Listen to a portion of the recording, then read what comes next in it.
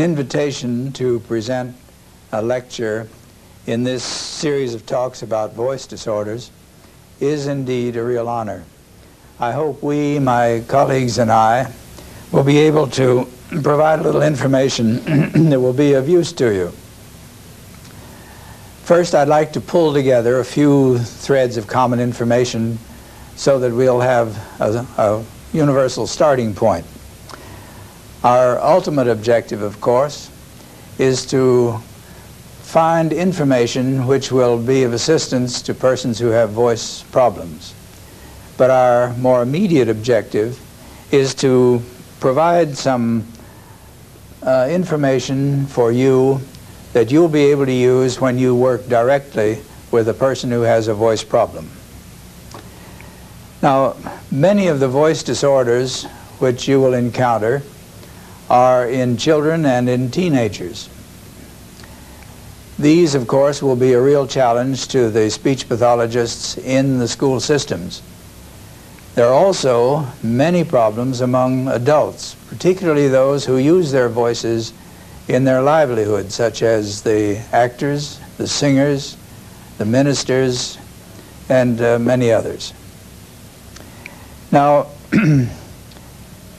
voice deviations are uh, so common and so important that another factor we need to think about is that a number of them reflect or indicate some sort of disease, and you and I need to be alert to that particular possibility. But regardless of these various factors, if you are a, a speech pathologist, a teacher of singing, an otolaryngologist, you can be sure that there will be individuals confronting you who have voice disorders. now, we're presuming that uh, you're a rather sophisticated audience. That is, we presume that your definition of voice disorders is very much like ours. That is, that a voice disorder is a deviation from the type of voice that will be used by most of the persons of the same age, sex, and cultural background as the, the speakers. So this means, of course, that you have, we, we judge the voices, we classify them according to our basic experience, our training, but it is a matter of judgment. There is, we've mentioned uh, in these voice disorders that there are differences in pitch and in loudness and in quality. There are many fascinating bits of information about pitch disorders, pitches that are too high or too low, also about uh, loudness problems, voices that are too loud or not loud enough. But we'll be concentrating primarily today on the problems of quality and more specifically those problems of quality that are related to the way the vocal cords vibrate, that is the problems of phonation. now with this focus in on the larynx and the laryngeal problems, it enables us for today at least to um, glorify the larynx. We can uh, say that the, the human body is composed of a larynx which supports the head and from which the rest of the body is suspended. Well, the uh, voice problems related to the larynx are commonly related or are referred to, as you know, as uh, hoarseness, breathiness, harshness, uh, aphonia, and the, the number of terms goes on for some time. But almost every one of us here will have experienced these, one of these disorders at least sometime in the lifetime along with a cold or laryngitis or um, the more popular term right now is an upper respiratory infection and obviously we've all had them. Now I believe we can serve you best in this particular talk by trying to explain how certain diseases and detrimental voice usage will impair the voice. Now impairing the voice is in our discussion comparable to impairing the function of the vocal cords. And as you become more familiar with the way in which disease and uh, uh, abusive behavior can influence the uh, vocal cord vibration, I think you'll gain a certain insight into the problems that we're concerned with today. Now, I've been talking a little bit about vocal cords. Just as a parenthetical expression, some of you may prefer vocal folds or vocal lips. use whatever terms you wish. They're all good terms. Just happens that habitually I tend to use vocal cord, but I don't mean that you should necessarily by that. Now, our approach in this presentation of studying the laryngeal behavior means trying to bring some of the information from the laboratory into the clinical situation. This approach brings us to the realization that we, we practice an art. We've, uh, it's comparable to the art of medicine. We don't have any recipes for the treatment of voice disorders. We um, are required to select from among the various procedures which are available to us. Now an artist mixes on his palette a number of colors and uh, he selects from those colors according to his own experience and his training and his sense of uh, what is right. And you and I have need to use every bit of uh, scientific information, our background, our experience, our training, to mix together to provide the therapeutic procedures for this unique, distinct individual who is facing us and who has a voice problem. This type of presentation is thought of as a, a supplement to augment what you have in the textbooks. Uh, what we present here today you can't put in a textbook. Voice is a very dynamic process, and in order to understand it adequately, I think we have to see it as a dynamic process. Consequently, wherever possible, we'll use uh, film to represent the motions of the vocal cords. Now, part of our little drawing together here of common information, I think we ought to review very quickly our concept of voice production. As we all know, the air comes from the lungs up the trachea to the larynx where the vocal cords are set into vibration by the uh, airstream itself. It's interesting to note that there are no two larynges that are alike. They differ one from another just as faces differ one from another. And this uniqueness of the laryngeal structure uh, opens the way for a lot of speculation. In other words, is your voice your voice simply because you have a particular structure? No one knows the answer to it, and the speculation could lead us off far afield, so we won't have time to get into it today. But it's something that uh, sometime in the future we ought to talk about. Now, watching the larynx function is one way to gain some insight into what goes on down there. Now, there are several ways of uh, viewing the larynx. One is with a flexible fiber optic scope that is uh, threaded through the nose. It goes down behind the soft palate and then goes down as far as the larynx so that uh, you can look in and direct the scope so that uh, you can watch the vocal cords. And one of the great advantages of this type of scope is that the person is able to talk or sing and not be impaired by the, the instrument. Another way of viewing the larynx is with a rigid scope. Now the rigid scope goes through the mouth and it just happens to carry the uh, light back to the back of the mouth and into the pharynx. And it also has a lens system back there which enables you to uh, get a very good view of the laryngeal structures. And then there's the third way that we can mention here, and that's uh, the use of a mirror. This is the old way, and it's the way we have to do or use when we uh, make our films. Now this mirror is placed back into the mouth, and um, when it goes back all the way, you can uh, see the positioning of it with this slide that uh, we can look at on the uh, TV screen. Now, this view shows an adult male head and neck, uh, and it shows the handle of the mirror uh, extending through the mouth to the mirror proper, which is placed back in the pharynx. The rim of the mirror is touching the posterior pharyngeal wall uh, at the median sagittal plane. Now the soft palate is just above the mirror and its shadow may be seen through the ramus of the mandible. The bony hard palate extends anteriorly to the front teeth. Now, both the upper and lower sets of teeth can be identified readily with the number of uh, fillings which are present. Obviously, this uh, patient and his dentist were very good friends. Now, if you look very carefully, you can see the faint shadow of the tongue slightly above the two lower posterior teeth.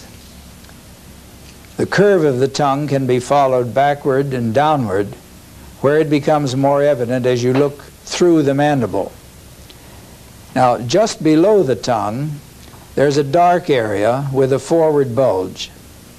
This area is the vallecula, a space between the tongue and the upper part of the epiglottis. You can see it extending above the image of the hyoid bone.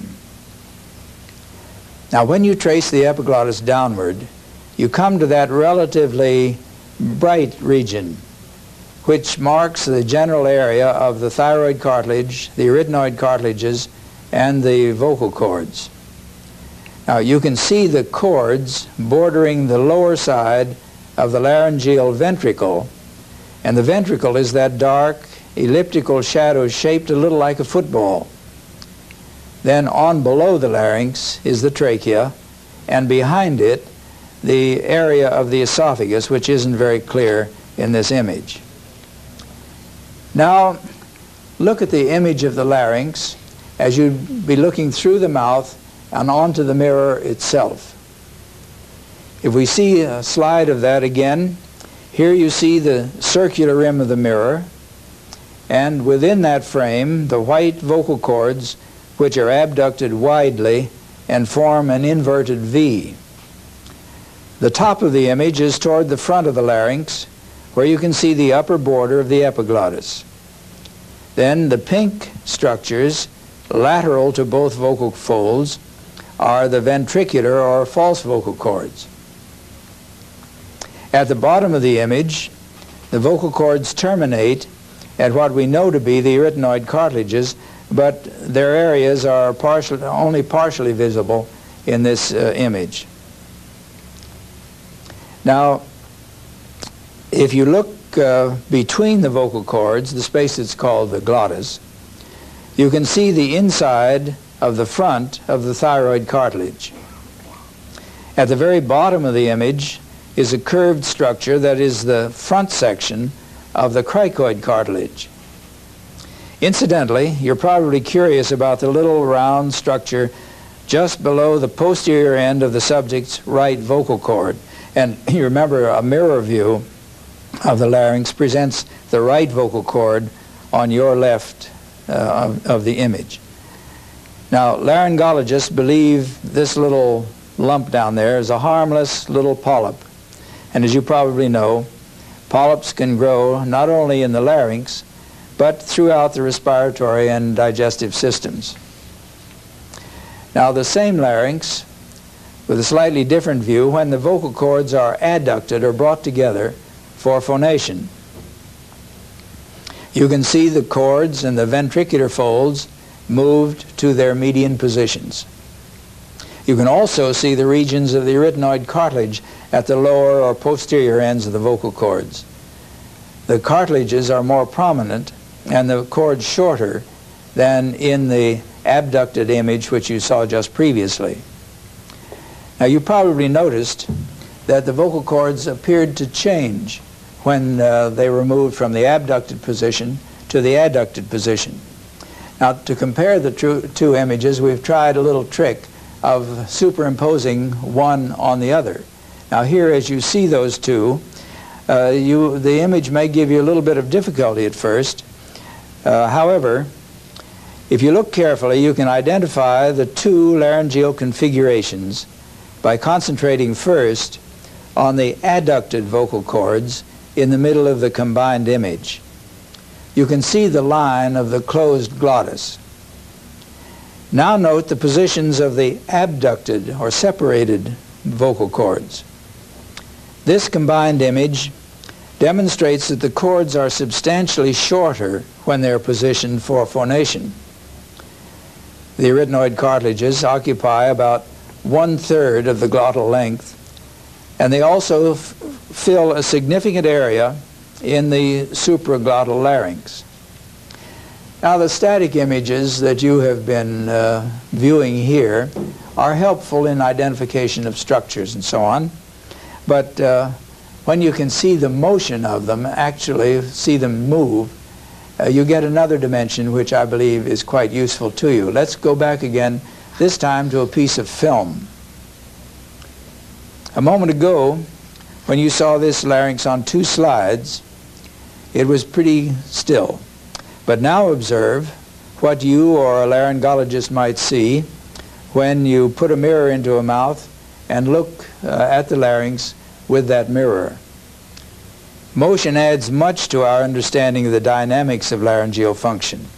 This short section of film will be repeated several times to allow you to observe in some detail the adduction and abduction of the vocal cords. You can see a moment of phonation, followed by abduction for inhalation, then adduction, and the resumption of phonation. We've discovered great value in repeated viewing of uh, selected sections of film. It's impossible to see and evaluate the motions, the positions, the structures, and the colors in a single viewing. Consequently, throughout this presentation, we'll repeat selected scenes to give you the opportunity to examine the images in greater detail. Now, when you watched that little section of film, you could tell when the vocal cords were vibrating by the fuzziness along their edges. However, you couldn't see the nature of those vibratory movements. They were occurring too fast for the unaided eye to follow, and uh, consequently we go to ultra slow motion photography in order to show the vibratory characteristics.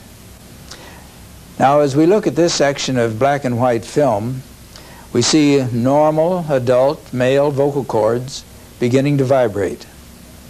You can see the cords adducting and starting to vibrate before the glottis closes. There are several vibratory cycles in which the vocal cords remain in contact with each other an unusually long time, and the pattern is irregular. However, after a very brief period, the vibration becomes regular. You probably realize that vibration in this and other larynges varies considerably from time to time. These vocal cords were photographed approximately at 5,000 pictures per second. Now when such film is projected at the normal 24 pictures per second, the time factor is stretched so that what took one second to photograph is spread over 165 seconds or about two and three quarter minutes in projection. Now, as you watch the repeating series of vibratory movements, you can see that the vocal cords move away from each other, then swing toward each other, and meet to close the glottis. The glottal opening, closing, and closed phases make up what is called the vibratory cycle. Each of the phases within the cycle can become longer or shorter, which causes various quality variations. Now let me explain the lines on the film image. On the left is an oscilloscope trace of an electroglottograph signal which we do not have time to discuss here. On the right side are timing signals. The square wave has a frequency of 5,000 hertz, with which the vibration frequency of the vocal folds can be measured. The pitch of the sound, which is related to frequency, is determined by the number of times the glottis opens and closes in each second. Every time the glottis is pushed open by the airstream, a puff of air is released, which generates a pressure pulse in the air, and a series or chain of these pulses creates a sound wave. Now, the vocal cords you've been watching appeared to be several inches long. Many of you probably have seen images of the cords that were maybe several feet long uh, when they were projected on a screen from a film. Well, as you will see presently, their size is quite critical. But really, just how large are they? Well, now, we'd like to show you another slide. This time uh, shows a somewhat asymmetrical uh, male larynx that produced normal vocal sound.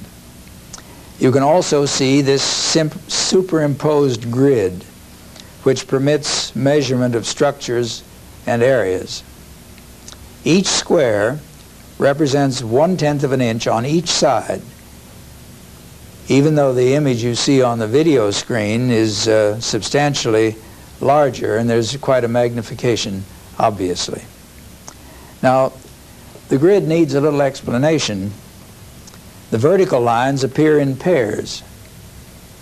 This pairing is the result of the reflection from both surfaces of a transparent mirror, which is simply a technical matter that need not concern us here. And the distance from one of the vertical lines to the comparable line in the adjacent pair is one-tenth of an inch. Then the distance between the horizontal lines, which are not paired, is also one-tenth of an inch. Now, if you measure the length of the vocal cords in this photograph by counting the horizontal lines, you can see that these cords are approximately six-tenths of an inch long. A little guessing is necessary since the anterior and posterior ends of the cords are obscured. Now if we see this same larynx with the vocal cords adducted, uh, we can see that um, they appear to be about one-tenth of an inch shorter than when abducted or separated. That is, the vibrating cords are about one-half inch or if you prefer, about 12 and a half millimeters long. We tend to forget that the larynx is a very small sound generator. Now, the real size of the laryngeal structures and their movements are really quite difficult to comprehend. If you have a dime handy, just take it out and hold it in your hand.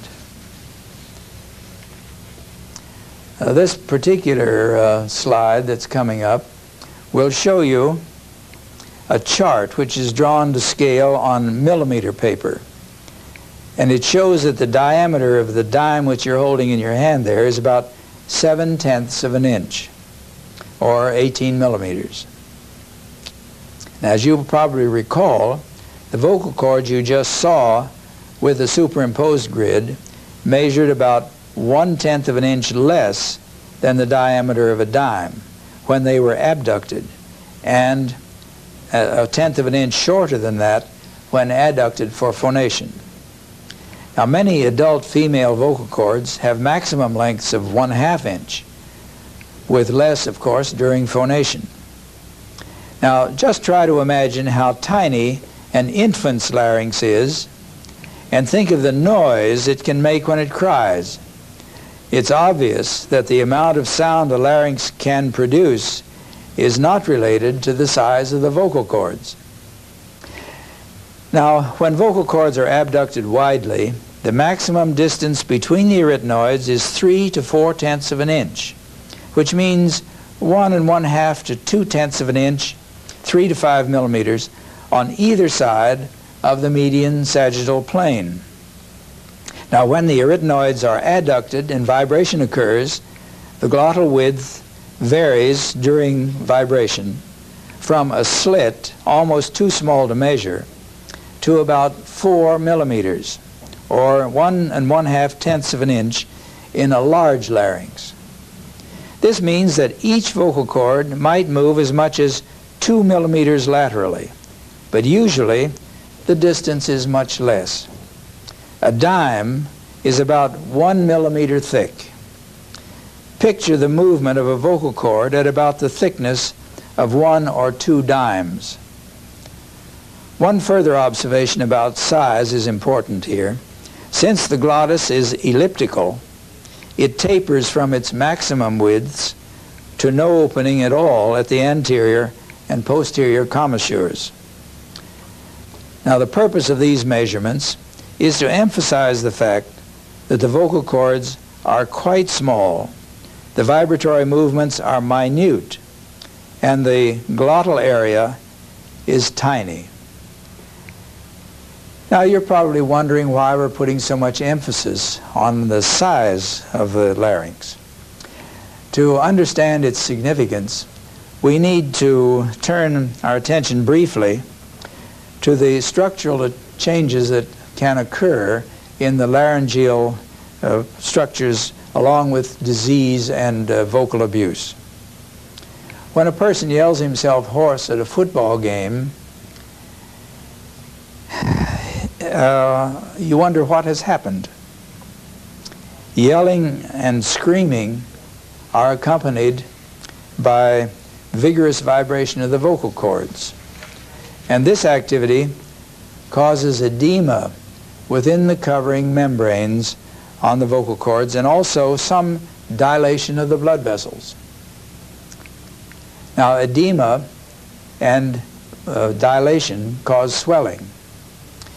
Now, when you recall the small size of the vocal cords and their limited movements, you can realize that swelling of as little as half a millimeter on each cord, which your eye could scarcely see, could reduce the glottal width by a half or more.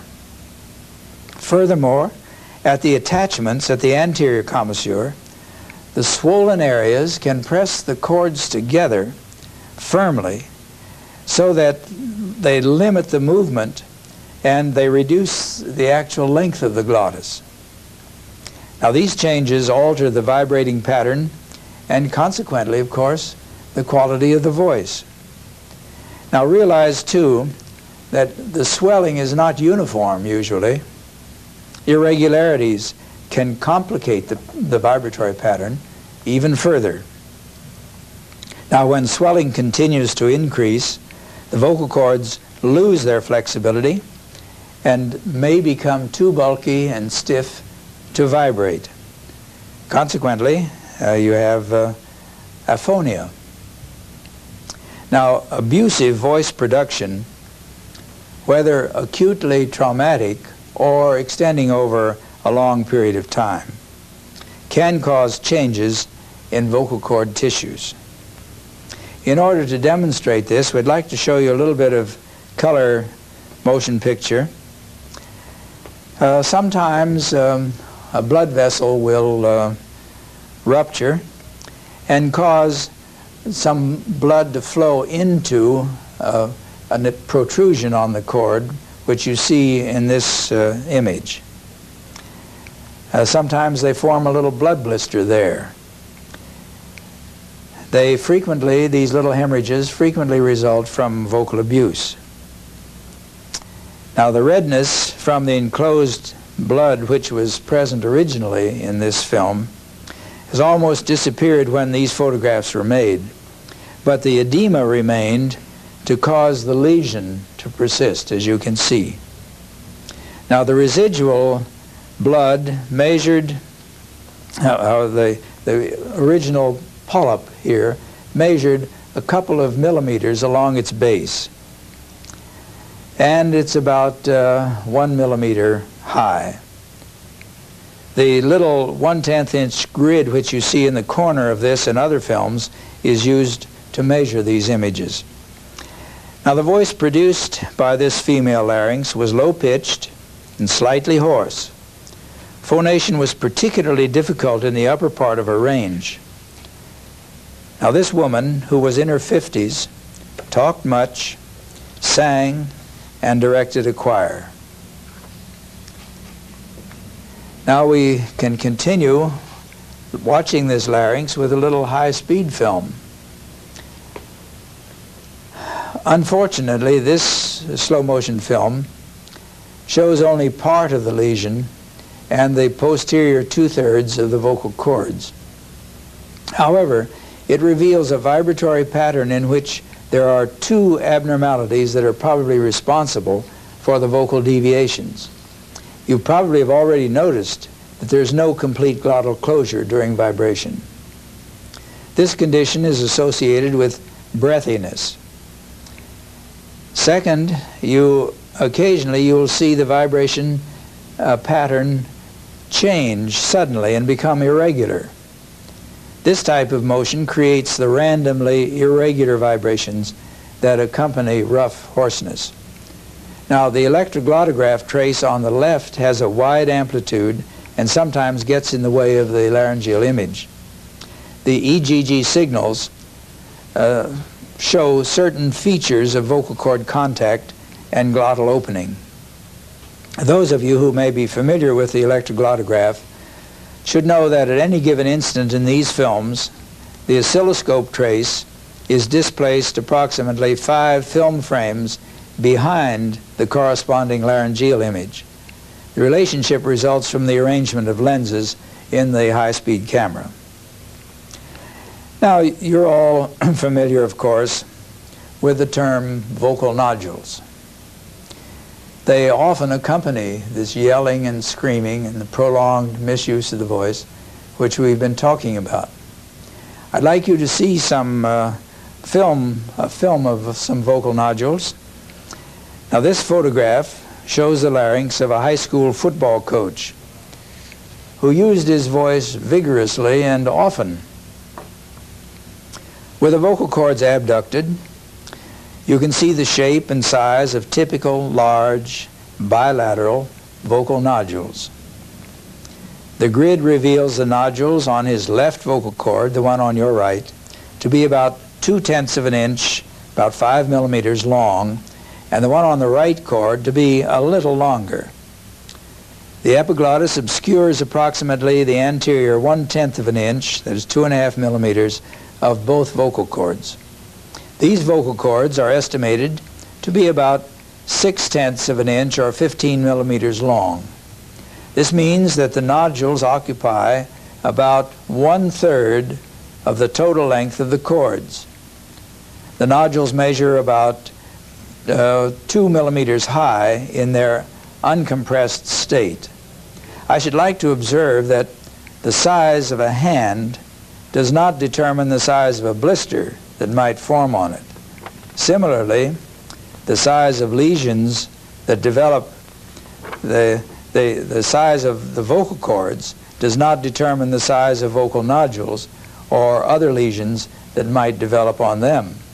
However, lesions of a given type, size, and location in a small larynx can be expected to create greater vocal problems than a comparable lesion in a large larynx. Now, if we look at this same subject, when these vocal cords are adducted for phonation, the nodules appear to be pressed together firmly and to hold the glottis open. However, this static image and uh, the image you see in textbooks presents only part of the total behavior of nodules. You'll observe subsequently in some motion picture film that nodules move in relation to their underlying structures. The glottal area posterior to the nodules is about two and a half tenths of an inch, that is six millimeters long, only a little longer than the nodules at their bases and about one-third the diameter of a dime. The anterior segment of the glottis is not visible. Now it happens that vocal nodules are much more common among uh, young women than men. And this relationship is reversed in children. There are more boys who have nodules, prepubertal boys, than the girls. Now here you see in this uh, motion picture film large bilateral asymmetrical vocal nodules in a 22-year-old college student. She was busy in campus extracurricular activities. She had many friends and was excessively verbal.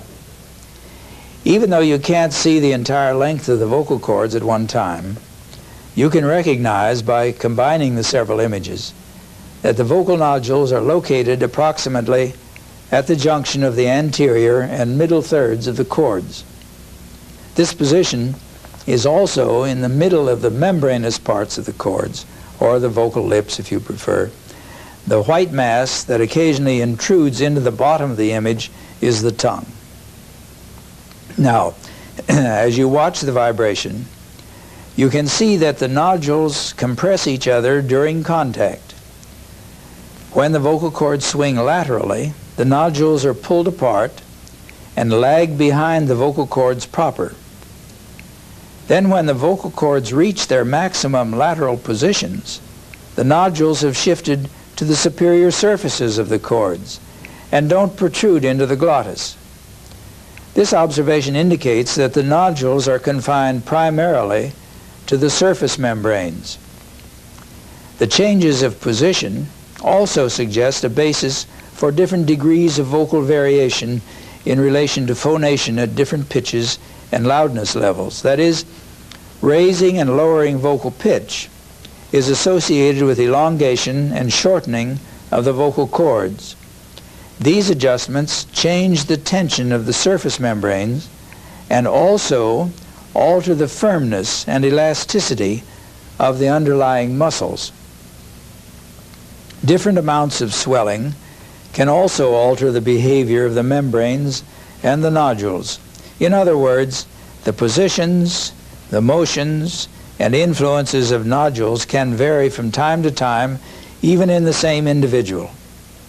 Furthermore, since no two larynges are alike, one can reason that the influences of the several variations will probably affect the vocal sound uniquely in each larynx. Now, vocal nodules are among the most common problems encountered by speech pathologists.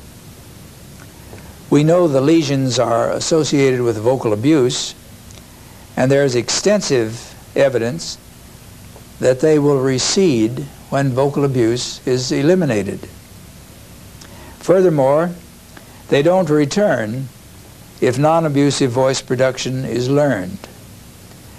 The next film that we'll show here presents the larynx of a speech pathology major a student in her early 20s who overused her voice in high school. She was a cheerleader, and she was vocal abusive in many other ways. When she entered the speech pathology training program, her voice had the typical breathy hoarseness and limited pitch range that often accompany vocal nodules. When she started voice therapy, her nodules were similar to those you just saw.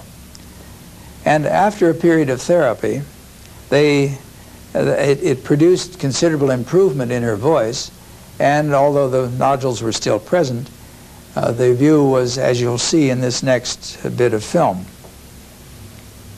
The nodules are smaller than those just previously shown, which was expected since the voice has, had improved. However, some vocal problem persisted which correlated with the visible image. The subject is attempting to produce a series of E-type vowels with inhalation between each phonation. Uh, the mass that occasionally obscures the posterior commissure is the uvula, which slides down from behind the laryngeal mirror during inhalation and is reflected in the mirror the size and position of the nodules becomes evident momentarily during several of the phonations. Now if we go into this slow motion film, we see that the nodules still interfere with glottal closure, but vocal cord contact is almost complete in each cycle. The close approximation undoubtedly contributes to the improved vocal quality. Note the mucus that strings out from the nodules and breaks as they separate. You've probably noticed also that the nodules roll onto the superior surfaces of the cords at the lateral extremes of their excursions, as in the previous larynx. Now look carefully at the lower or deeper borders of the vocal cords as they swing toward each other you can see the broad nodular masses approaching and meeting during the closing phase of the cycles. Immediately after they meet, the mucosa on the superior surfaces slides medially and obscures the underlying parts. Now, the hematoma and vocal nodules you have seen were related to loud and often high-pitched vocal abuse. Another problem related to um, a different kind of vocal abuse is called contact ulcer. This name was given by Dr. Chevalier Jackson, one of the pioneers about the turn of the century in the field of otolaryngology. He observed that the ulcer sometimes occurs on one or both vocal processes of the arytenoids when they smash together frequently and vigorously during adduction. These ulcers are customarily associated with low-pitched, vigorous, frequent phonation over a period of time. However, there's evidence that an ulcer can be developed in a very brief few minutes uh, through a series of staccato phonations. Now, the types of vocal abuse associated with contact ulcer seem to be much more common than the ulcers. This apparent low correlation suggests the presence of some additional factor that cooperates in the formation of the ulcers themselves. And several investigators uh, reported the special factor, they believe anyway, to be stomach reflux, resulting from a hiatal hernia and uh, or certain other digestive problems. Now the ref reflux is presumed to irritate the mucosa on the arytenoid cartilages, making those areas more susceptible to the vocal abuse. Now contact ulcers don't influence the voice until the inflammatory process creates edema and dilation of the blood vessels uh, that extend onto the vocal cords. Now, since the lesion is posterior, the effect on the vocal cords occurs gradually with the extension of the swelling. However, the first evidence of uh, an ulcer is a sharp pain either in the larynx or sometimes it's referred to the ear. I'd like to show you some uh, film uh, with contact ulcer.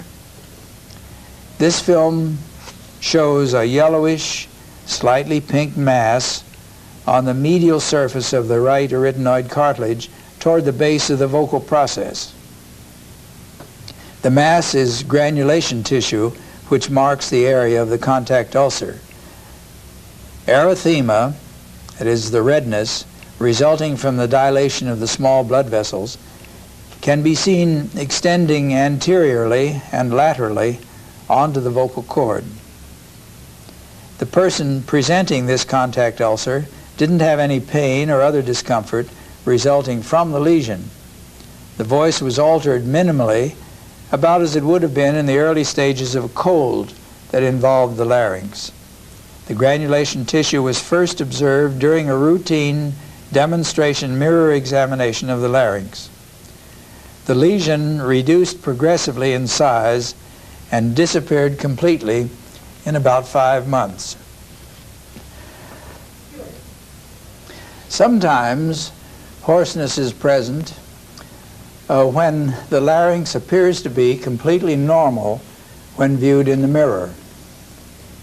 The voice simply tells us that the vocal cords aren't vibrating properly, but uh, there's no visible evidence of that uh, deviation. Now research has demonstrated that hoarseness is associated with random variability in the length of the consecutive vibratory cycles. Obviously, an ordinary mirror view can't show that. Now, a teacher came to us not long ago with a very hoarse voice. the reports that she brought indicated that she had what appeared to be an essentially normal larynx, which implied a functional problem. She was about 30 years old and was teaching an elementary school grade when we saw her. When she was in college and she was a cheerleader, she had surgery to remove nodules and subsequently taught physical education for some long time. Now, as you can see from her film, with that vocal history, you could logically expect to find a recurrence of nodules or some other visible pathology. However, as you can see, the structures and color appear essentially normal. Yet, if you look carefully, as the section of film is repeated, you can see a slight indentation on the left vocal cord anteriorly and on the opposite side, just anterior to the vocal process of the arytenoid. There, there there's a small protrusion from the glottal border. Now this ultra slow motion scene reveals that her right vocal cord has a wider excursion than the left, and both its lateral and medial movements precede those of the left. This leading movement causes the two cords to be out of phase, and as you can see, there's no complete glottal closure. The indentation on the left cord seems to contribute to the absence of a closed phase. Note also that there appears to be a slightly enlarged area on the posterior segment of the left cord, which seems to be less flexible than the opposite cord. This stiff area also moves somewhat out of phase with the motion of the anterior segment of that same cord. The combination of motions of the left cord probably create the vibratory irregularities that cause the hoarseness. I'd like to stress here that visually insignificant structural changes can create deviant vibratory patterns which cause serious hoarseness. Just report just because a report says the larynx appears normal and hoarseness is present doesn't necessarily mean it is normal. The statement simply means that the cause of the hoarseness isn't evident whereupon the assumption is made that the cause is functional. Now, in some ways, the next patient is similar to the one you just saw. That is, she had surgery for the removal of nodules when she was about 20 years old and in college. One vocal cord sustained the loss of some tissue along the glottal border which produced a small anterior glottal opening during phonation, which you will see. she also has what appears to be a stiffened area just anterior to the one of the arytenoid cartilages. However, without careful observation, these features could be missed and the larynx judged to be normal. Her voice is relatively normal on very high sung tones, but becomes progressively more diplophonic as the pitch is lowered. Her speaking voice is diplophonic most of the time. This woman is in her early 50s. She's lived happily with her voice throughout her adult life without concern because she was assured earlier that there wasn't any disease present and that her larynx was essentially normal. She is a piano teacher in a college and uh, came to our clinic because a friend simply said maybe there's something that could be done to help her voice. Well now, as you watch her film, note the anterior part of the glottal opening during phonation and the slightly puffy appearance of the left vocal cord. You can also see a sudden shift of the anterior larynx to one side. This movement occurred when the subject dropped her vocal pitch about an octave and then let it glide back up. that type of lateral movement sometimes accompanies unilateral paralysis of the cricothyroid muscle, but we could observe no other evidence of any paralysis. now, note how the enlarged area of the left vocal cord flops into the glottis and strikes the opposite cord. As the pitch rises, the vibratory movements become out of phase and momentarily disintegrate into random oscillation. With continuing rise in pitch, the posterior parts of the vocal cords are pressed together progressively toward the front, thereby shortening both the glottal opening and the vibrating segments of the vocal cords. This type of adjustment is commonly used to achieve high pitches. The motions you saw generated a prominent diplophonia throughout the shift from the lower to the higher pitches. Now, the illustrations used so far have focused on familiar vocal disorders. And uh, they're relatively directly or indirectly related to vocal abuse. I believe there's another very common problem that deserves our attention, although usually it's not caused by vocal abuse. I refer to laryngitis caused by a disease organism, a condition to which we're all subject from time to time. When singers, actors, ministers, teachers, and others who use their voices in their work are afflicted, they're properly concerned and frequently ask their doctors for medical relief plus advice about using their voices during the course of the disease. Most medications are palliative and the usual advice is to use the voice as little as possible.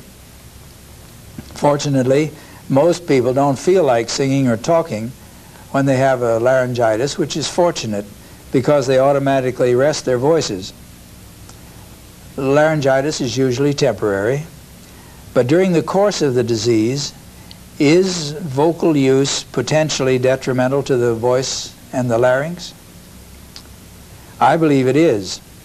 And I'd like to offer a little support for this opinion in this next uh, bit of film. First, notice the generalized erythema with prominent dilated blood vessels on the vocal cords and throughout the larynx. Then note the light-colored area on the anterior section of this man's right cord. This region reveals congestion in the submucosal area that is similar to that in the nose during a cold. As the scene is repeated, you can see that the swelling in the light area extends posteriorly, posteriorly on the upper surface of the right vocal cord. The left cord appears to be less swollen than the right. This film demonstrates that the common disorder called laryngitis may be and often is a real disease. When you have laryngitis, your voice usually is hoarse. What's the relationship between the disease and the voice? Again, the high-speed film reveals what the unaided eye can't see. Undoubtedly, you're attracted immediately to the strange atypical motions of the left cord. Its anterior and posterior segments often move in opposite directions. Posterior segment bumps the opposite cord more or less regularly, and after three or four of these movements, the entire glottis closes momentarily as a result of the medial swing of the anterior segment of the left cord combined with a slight medial motion of the relatively stiff right cord. While there's a randomness in the vibration, there's repetition of the complex motion. The left cord seems to be quite flaccid and somewhat edematous on its underside. There's not time to show you additional films of this subject that were made during the course of the disease and when he was phonating at various pitch levels. However, I can report that the right vocal cord remained relatively stiff and maintained a smaller amplitude during all phonatory tasks. The left cord was more active consistently, but its vibratory patterns varied with the general pitch level. There was less randomness in the lowest and the highest parts of the range. The section of film used here represents the vibration at a middle pitch. Laryngitis probably affects each larynx uniquely. Consequently, the abnormalities shown here can't be generalized. However, there is evidence that laryngitis can temporarily alter both the structure of the vocal cords and the vibratory patterns. I believe the structures in a larynx with laryngitis are sick enough to need rest to assist in recovery. The muscles and membranes are probably affected enough to sustain some permanent damage if used much while the infection is present. Consequently, if we come back to the earlier question about the relationship between laryngitis and voice, we can support the advice to use the voice minimally during an acute laryngitis.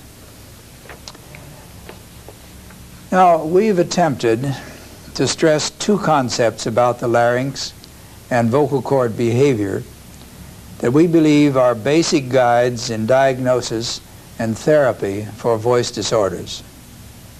First, the larynx is a very small sound generator in which minute changes can have very large effects on the voice. And second, these small changes can come from vocal abuse, disease, or loss of tissue, which express their effects through generalized enlargement, localized swelling, or circumscribed uh, deficits. Any of these alterations can modify vocal cord vibration or glottal closure and can cause abnormal voice.